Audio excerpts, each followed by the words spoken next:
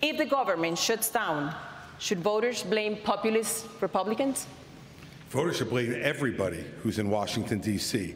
They get sent down there to do the job, and they've been failing at doing the job for a very long time. And let's be honest about this with the voters.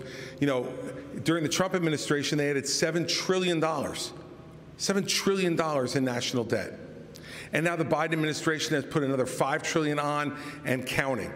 They have failed, and they're in the spot they're in now because none of them are willing to tell the truth. None of them are willing to take on the difficult issues. They just want to keep kicking the can down the road.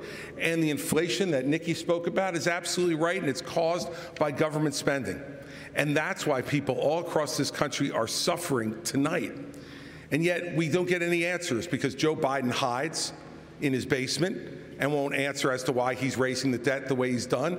And Donald Trump hides behind the walls of his golf clubs and won't show up here to answer questions like all the rest of us are up here to answer. He put seven trillion on the debt. He should be in this room to answer those questions for the people you talk about who are Can suffering. And if the government and if the government closes and if the government Can closes, it's the blame. It is to the blame of everyone in Washington, D.C., who has failed to do their job and just plays to the grandstand.